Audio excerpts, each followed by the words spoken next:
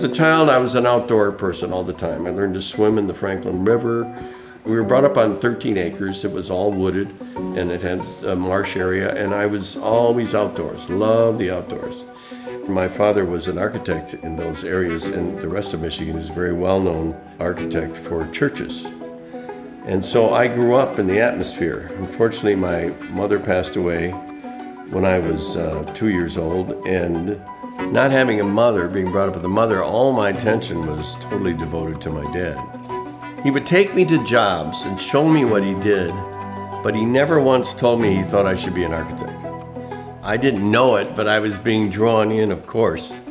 So I would have seen these drawn on paper, onion, little onion skin sketches on his desk. Then maybe a year later, I would go and I would be hugging the column of a gigantic entrance of a church.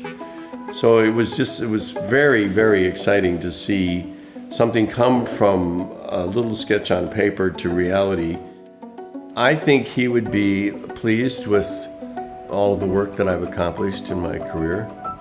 Uh, I think he would be very proud.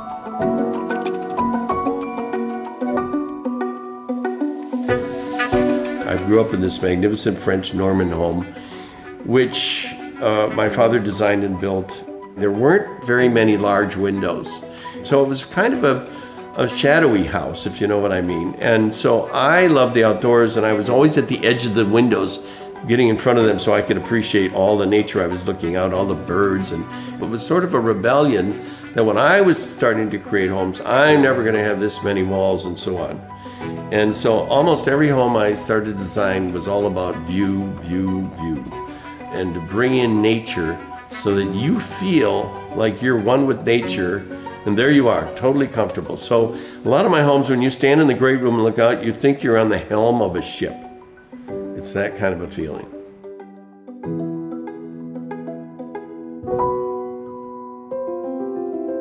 What drives me the most, I would think, is that each project is new and different, and I get to challenge myself again with coming up with a brand new concept, something that's never been done and special for that project to make the clients happy. Working with DesRosiers Architects is truly an experience that is one of a kind. When you walk into a Louis DesRosiers home, there's another level of quality that you see. And I don't think that quality is even justified to say that is the best in Michigan. I think he's one of the top architects in the country. I mean, the level of detail he goes into to just make the house really have that next level of quality. The one thing is, you'll notice with Lou, it's his passion. It's not work for him. He loves what he does, and you can feel that. Working with Lou is an adventure. It's an adventure every day. He designed this house uh, more, it was like a pavilion. It was basically to be built on a big slab of stone. It was to bring the outside inside. The glass walls go into the masonry and up into the ceiling. He lines up the mortar joints from the inside to the outside. The little details that he comes up with are just extraordinary.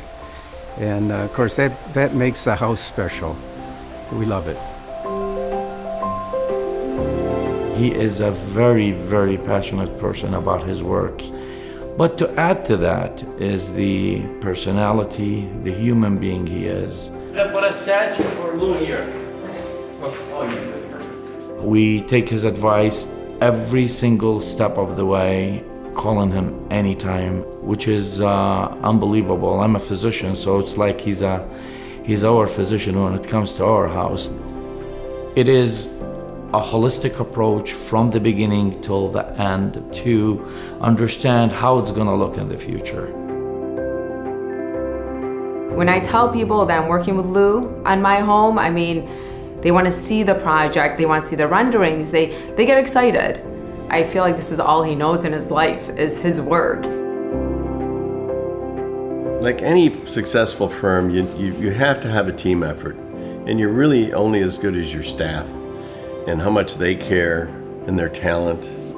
And so I try to pull out of them the best that they can be to help our projects be successful. So it's important to note that, uh, you know, nothing in my career would have been accomplished without the support of my beautiful family. My wonderful wife, Joanne, which we call all fondly call JoJo, and my two sons, Paul and Glenn, and they've always supported me from day one. This is my third home, actually, that I've designed and lived in and built.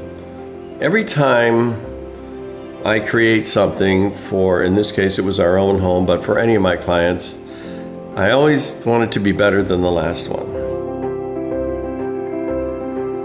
Well, I have to say, occasionally nowadays, uh, new clients and potential clients ask me when I'm going to retire. And the truth of the matter is, I have absolutely no interest in retiring.